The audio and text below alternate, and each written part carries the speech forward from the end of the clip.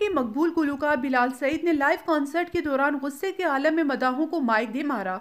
जी हाँ, social media पर एक वीडियो वायरल हो रही है, जिसमें बिलाल सईद को स्टेज पर परफॉर्म करते हुए देखा जा सकता है और बिलाल सईद के इस कॉन्सर्ट के दौरान हुए इस वाक़े की मुकम्मल तफसीत शेयर करेंगे आज के इस वीडियो में। लेकिन इससे पहले एज यूजल आपसे रिक्वेस्ट है कि वीडियो को लाइक और चैनल को सब्सक्राइब ज़रूर कर लें। गुलकार बिलाल सईद की वीडियो सोशल मीडिया पर तेज़ी से वायरल हो रही है। सोशल मीडिया पर वायरल होने वाली इस वीडियो में सुना जा सकता है कि बिलाल सईद अपना एक पुराना गाना गा रहे हैं और अचानक वो गुस्से से बड़क उठे और हाथ में मौजूद माइक कॉन्सर्ट की ऑडियंस की जानब दे मारा। बिलाल सईद ऑडियंस की जानब माइक फेंकने के बाद कुछ भी कहे बगैर गुस्से से स्टेज छोड़कर चले गए। यहाँ पर आपको मजीद बताते चले की बिलाल सईद के इस कॉन्सर्ट में लड़कों का एक ग्रुप मौजूद था जिसके मिसबिहेव करने पर बिलाल सईद गुस्से में आ गए और बिलाल सईद ने हाथ में मौजूद माइक को लड़कों के ग्रुप की तरफ़ दे मारा। आप इस वाक्य के मुतालिक क्या कहना चाहेंगे? कमेंट्स में ज़रूर बताइएगा। वीडियो को लाइक और चैनल को सब्सक्राइब ज़रूर कीजिएगा।